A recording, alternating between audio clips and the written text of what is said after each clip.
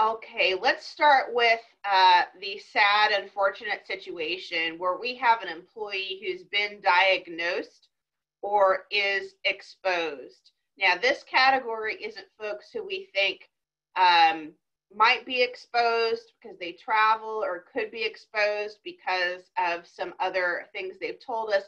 I'm talking about folks who say, My husband just was diagnosed with COVID my sister was diagnosed with COVID and I was at a barbecue over her house. So this is the narrower category where we have an actual diagnosis and an actual case of exposure.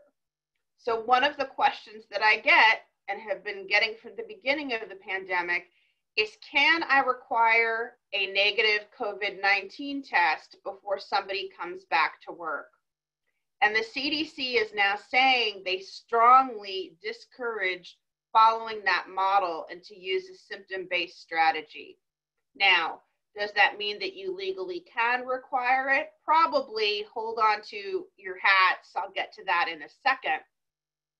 But the CDC and our health departments are telling us that testing is strongly discouraged, requiring it before somebody can come back to work.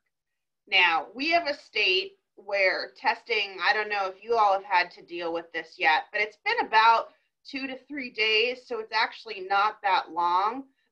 We're lucky that most folks seem to be able to get a test now. Um, but again, the CDC is looking at this nationally and thinking about the drain on our healthcare system. Now, there's an exception for somebody who's severely immunocompromised. I mean, we want people like that to be going to the doctor anyway. I know it feels like we all have to be doctors now, but when in doubt, we are always going to refer our employees to their healthcare provider. In fact, the one caveat that I'm going to give to all of these slides is that what the employee's healthcare provider says trumps anything else. If their healthcare provider is recommending that they stay home seven days, then that's what we're going to do.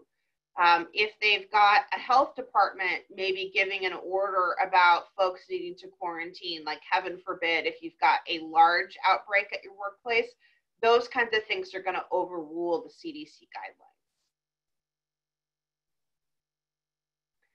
Uh, oh, and then I had a note on here. Sorry, this is a repeat, but it was for myself that there's some provisions of the Families First Coronavirus Act that encourage us to maybe get doctor's notes.